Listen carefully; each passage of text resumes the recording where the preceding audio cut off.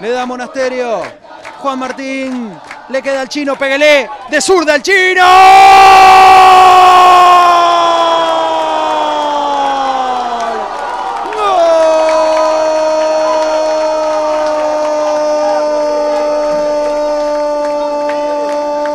Golazo del Chino Pérez.